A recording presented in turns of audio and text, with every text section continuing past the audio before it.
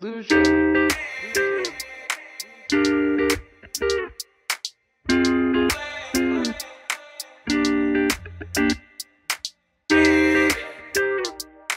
Give me reasons we should be complete.